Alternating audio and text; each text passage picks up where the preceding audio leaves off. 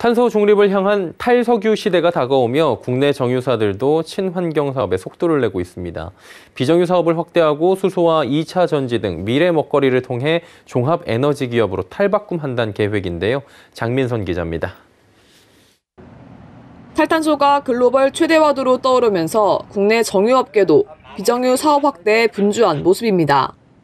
GS 칼테스는 수소 생산과 충전소를 중심으로 사업 확대에 나섰습니다. GS 칼테스는 지난 5월 한국가스공사와 업무 협약을 체결하고 가스공사의 LNG 인수기지 내 유휴부지에 2024년 완공 목표로 연산 1만 톤 규모의 액화수소 플랜트를 짓기로 했습니다.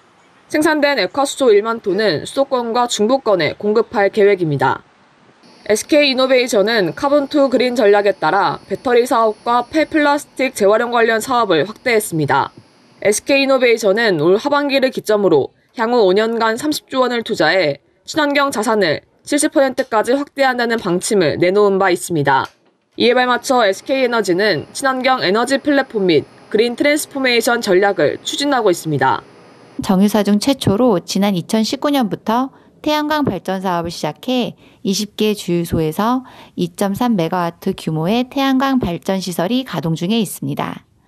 뿐만 아니라 생산기지인 울산 컴플렉스에서는 동력 보일러 연료를 친환경 LNG로 전면 교체했으며 석유공사와 함께 동해가스전 CCS 국책과제에도 참여하고 있습니다.